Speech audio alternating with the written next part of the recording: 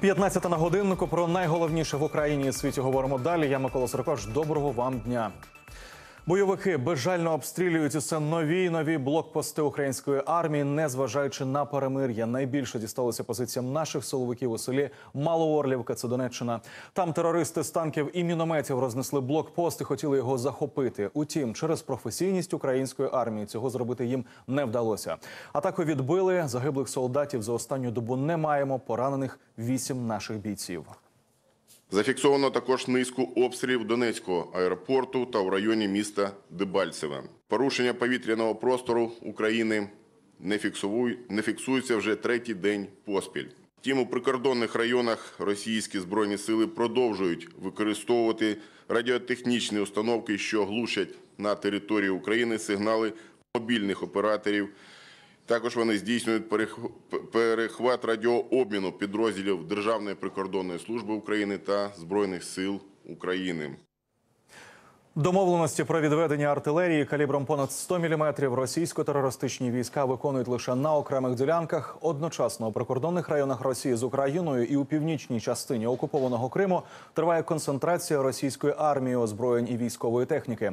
Зокрема, у Криму зафіксовано перекидання до адміністративного кордону з Херсонською областю декількох комплексів ППО. Сили антитерористичної операції і надалі перебувають в місцях дислокації, виконують визначений перелік завдань в рамках тимчасового припинення вогню. Основну діяльність зосереджують на визначених ділянках, рубежах, блокпостах, важливих об'єктах, забезпечують її охорону та оборону.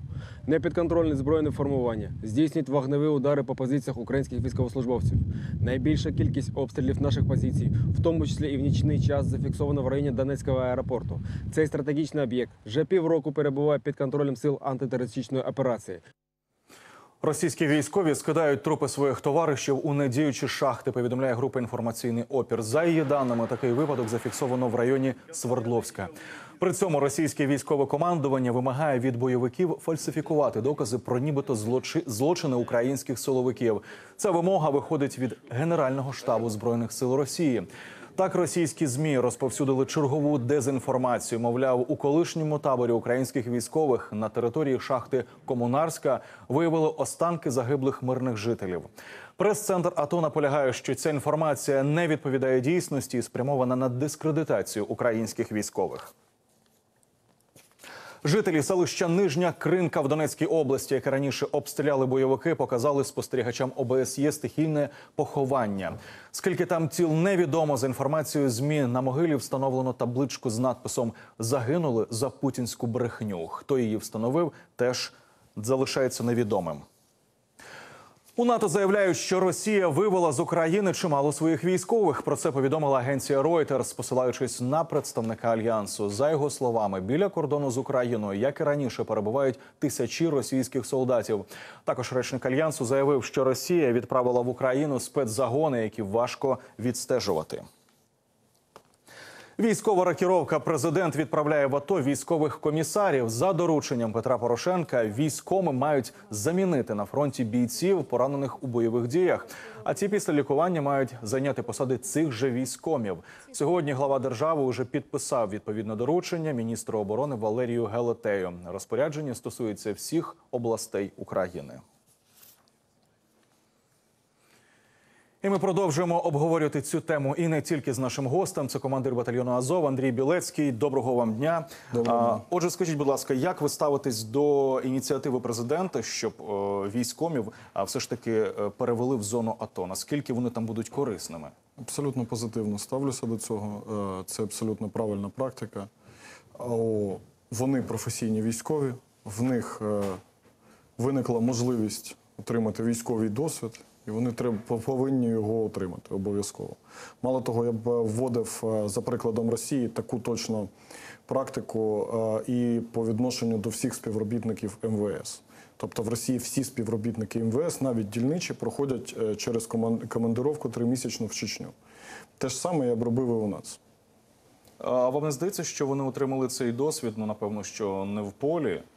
Тому що наскільки я розумію, це люди, які фактично сидять у Там військкоматах. і- надзвичайно багато е, тилових е, і штабних е, е, структур, які, в яких теж потрібні професіонали. Хай ідуть і працюють е, на фронті отримують новий досвід на своїх штабних, тилових, інтендантських і так далі посадах, кадрових, але там в зоні АТО. Зрозуміло. А скажіть, будь ласка, яка зараз взагалі ситуація залишається у Маріуполі? Тому що є інформація, що все ж таки російські військові переодягаються в ополченців і таким чином намагаються вести свій наступ.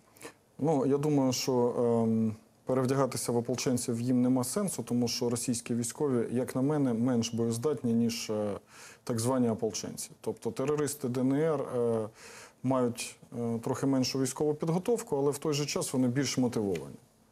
Російські війська ну, не проявляють на, на, надвисокі морально, морально-вольові якості.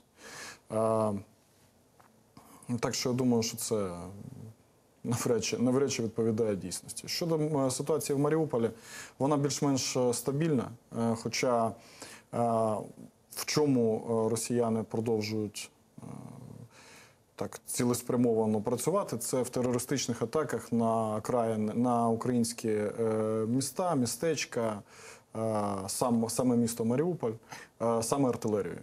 Тобто працюється по тим кварталам, куди вони можуть добивати, досить активно за допомогою артилерії арт, і важких артсистем.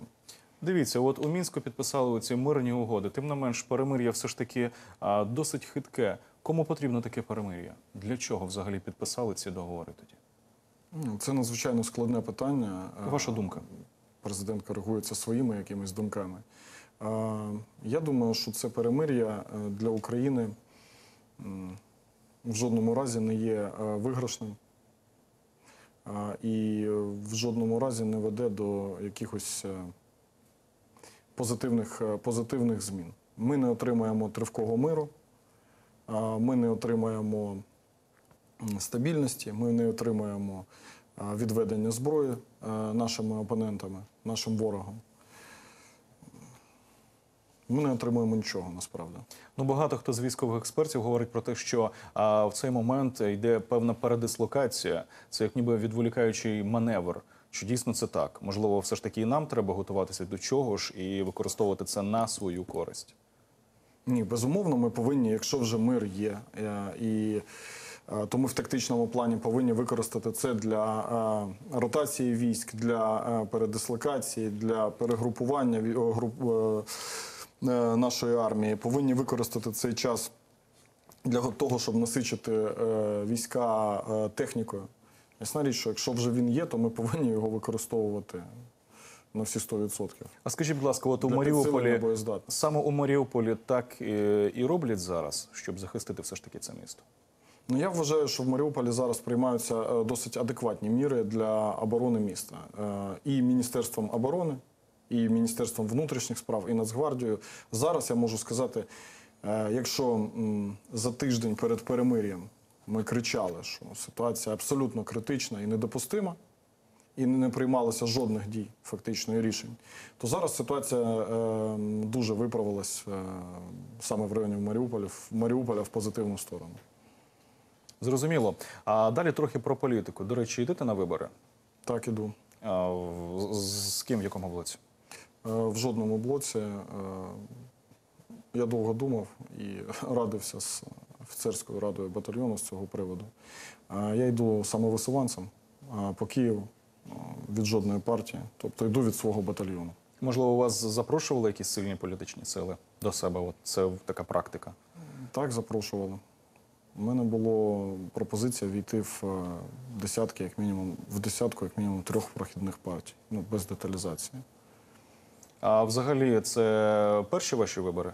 Перше. А Чому раніше не йшли до парламенту? Чому ви вирішили Е, зробити це саме зараз? Я б і зараз е, не йшов би до парламенту, е, якщо б не бачив, що ту війну, яку ми можемо вигравати е, на Сході, ми програємо тут, в Києві, в кабінетах. Тому я хочу мати, хочу, щоб я мав вплив, хочу, щоб люди, які проливали кров, добровольці, армія, мали вплив на рішення, які приймаються в Києві. Від них безпосередньо залежить наше життя, доля нашої країни. Хочеться вірити е, в те, що вам дійсно е, вдасться щось виправити. І дуже коротко, скажіть, от багато хто говорить про певні провокації під час проведення цих виборів. Чи дійсно це можливо, і що взагалі ми робимо для того, щоб їх уникнути або захиститися від них? Безумовно, я пам'ятаю президентські вибори. Ми, ми прикривали тоді Волноваху, е, собственно кажучи, тоді там тільки-тільки пройшли бої, насправді перші. Я певен, що вони будуть, е, ну, що опонент, е, терористи будуть робити все для того, щоб їх зірвати по всій Донецькій області.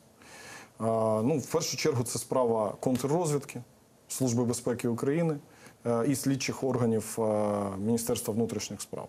Ми будемо допомагати їм чим можемо в цьому плані. Вони повинні виявляти групи, вони повинні робити контрходи в цьому плані. Щоб Дякую. Будемо вірити все ж таки у краще. Нагадаю, з нами в студії був Андрій Білецький, командир полку Азов.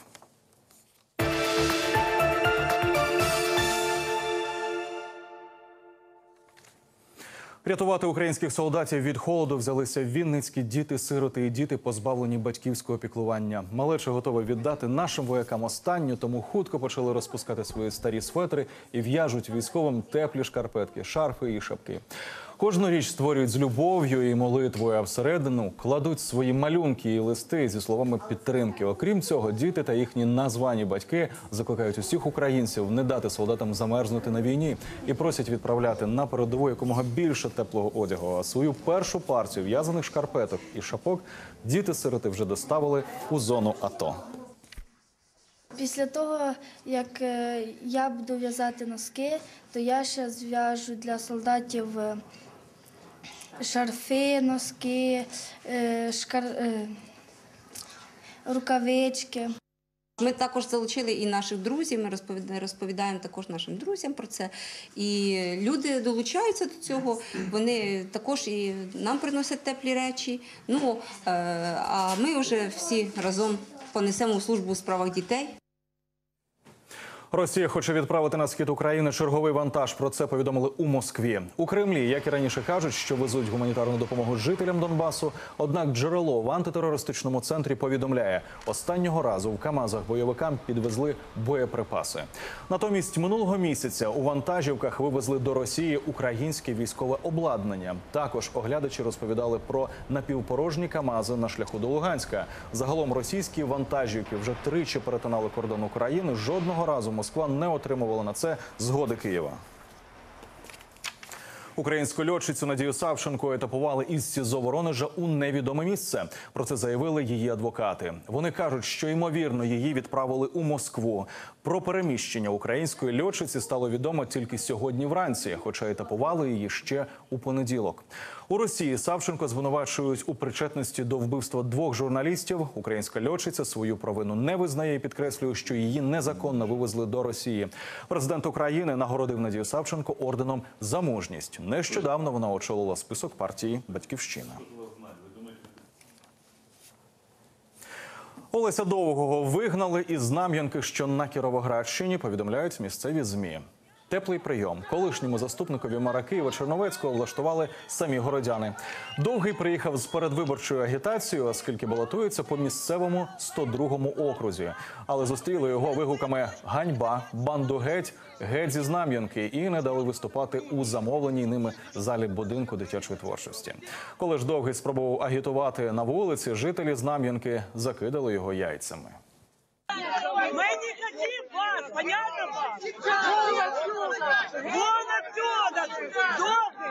Не хочемо! Ми не хочемо! Вони! Призабути гасло банду геть сьогодні лунало і під ЦВК. Прибічники політичної партії Воля підготували виборчу комісію з вимогою зареєструвати своїх кандидатів на позачергові парламентські вибори, а заодно і провести люстрацію нечесних, на їхню думку, членів комісії. Нагадаю, 22 вересня ЦВК не включила до виборчих перегонів 21-го мажоритарника від волі.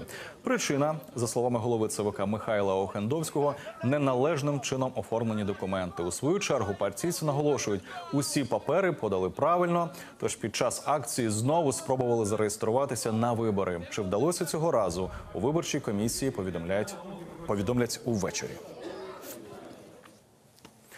Прийшов реєструватися до ЦВК лідер правого сектора Дмитро Ярош. Очолити виборчий список партії він відмовився номером першим. Там стоїть його заступник з політичних питань Андрій Тарас Тарасенко. Ярош же балотується як мажоритарник по 39-му округу Дніпропетровської області. Своє рішення мотивує тим, що військова база правого сектора розташована саме там. Я йду по мажоритарному округу Дніпропетров, по Дніпропетровщині 39-й мажоритарний округ, бо база наша знаходиться там. Кому комунікації не, розтягнуті, ну відповідно мені там легше. Одне із головних завдань Верховній Раді буде власне пробити легалізацію добровольчого українського корпусу.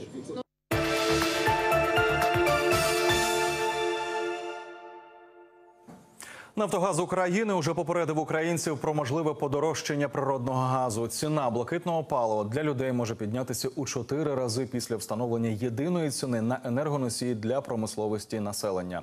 Така ініціатива назріває у Міненерго. Про це на енергетичному форумі заявив заступник голови Нафтогазу Олександр Тодійчук. Воднос водночас, щоб перезимувати у теплі, німецькі аналітики радять українцям зменшити попит і пожвавити реверс. За їхніми розрахунками, споживання блакитного палива всередині країни треба знизити щонайменше на 20% і поповнити запаси у підземних сховищах газом з Європи.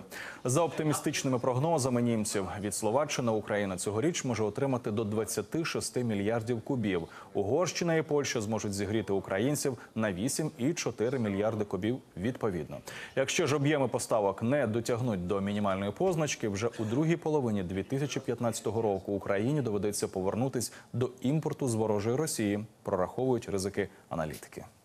If those two conditions are not met, Якщо ці два ключові фактори не будуть виконані, то вже на початку 2015 року газові сховища України спорожніють.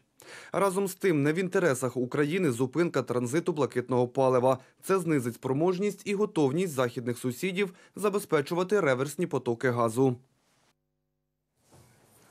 Столичні міліціонери врятували іноземця, якого викрали зловмисники. Коли громадянин Сирії повертався ввечері до своєї київської квартири, на нього напали троє озброєних автоматами і затягнули в джип.